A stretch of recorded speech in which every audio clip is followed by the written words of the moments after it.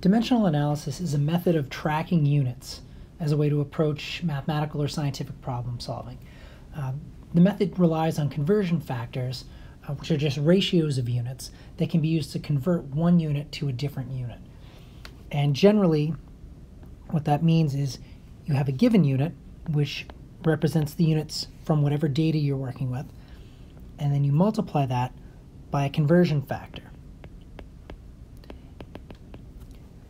And what you do is you set your conversion factor as a ratio, desired unit over given unit.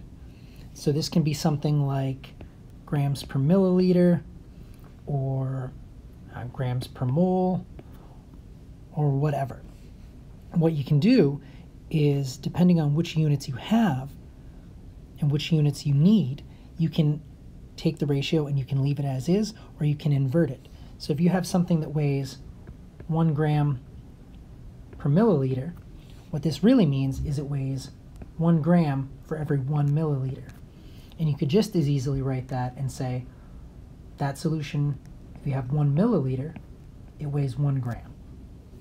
Each of these statements is equivalent, and you can flip the ratio as required.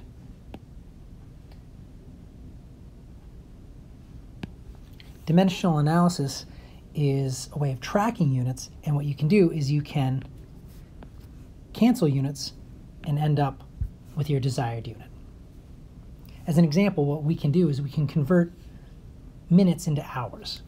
So let's say you measure 12 and a half minutes.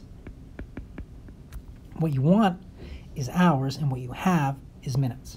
So you set up a ratio where you have your desired unit on top. You want hours. One hour contains 60 minutes. And what you can do is you can cancel the minutes and you're left with hours. Doing this calculation gives you 0.2083 repeating hours. And your 12 and a half minutes is a measured value with three significant figures. You're multiplying it by a 1 and a 60. Those are exact values. It's an exact defined conversion. So your final answer has to have three significant figures. So 0.208 hours.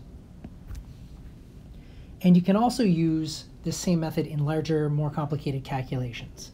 So what we can do is we can think about an example where we want to convert a mass to a volume. So imagine that you have uh, a solution that weighs 17 and a half grams and has a density of 1.2 grams per milliliter. And we ask, what is the volume in liters? What we can do is we can use our dimensional analysis process.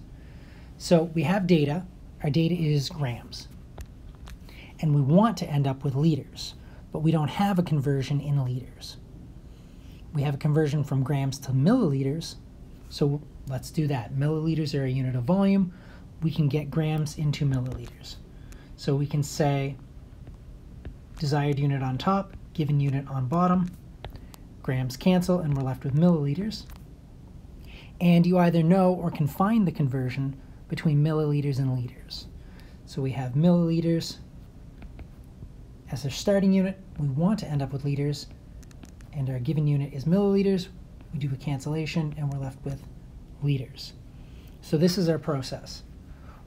We start with 17.50 grams, multiply it by 1 milliliter for every 1.2 grams from our density. Grams cancel, and we are left with 14.583 repeating milliliters. And we can convert that into liters. There's one liter for every 1,000 milliliters. Our milliliters cancel, and we're left with 0.014583 repeating liters. Again, we have to track, uh, check our significant figures. We started with 4 sig figs. We did a conversion with 1.2 which has two significant figures. Densities are measured values, so we have to take that into account. So we're doing a division with four sig figs and two sig, figs, so we end up with two, which means this should have two sig figs. So this one should have two sig figs. And then we are using an absolute defined conversion. There are exactly 1,000 milliliters in a liter, so it doesn't have any effect on our significant figures. So our final answer should have two sig figs. So we can say it's 0.015 liters.